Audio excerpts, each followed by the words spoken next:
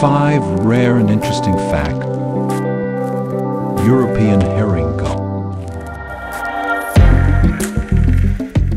Larus argentatus Pontoppidan is the scientific name for the European herring gull, a species of gull found in the coastal regions of Europe, including the North Atlantic and Baltic Sea.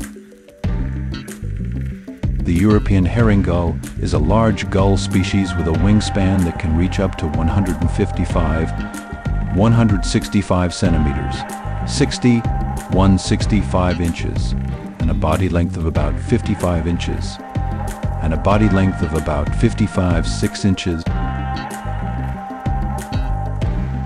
Unlike many other gull species, the European herring gull exhibits significant individual variation in plumage, making it challenging to identify specific individuals based on appearance alone.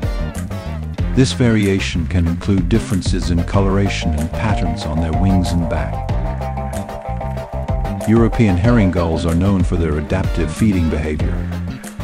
While they primarily feed on fish, particularly herring and other small species, they are opportunistic scavengers and have been observed feeding on various prey, including small mammals, birds, and even carrion. These gulls have a complex breeding behavior. They typically breed in large colonies near the coast or on islands, and they form long-term pair bonds. Both male and female birds participate in building the nest, incubating the eggs and raising the chicks. The nests are often located on the ground or on cliffs, and the female usually lays two or three eggs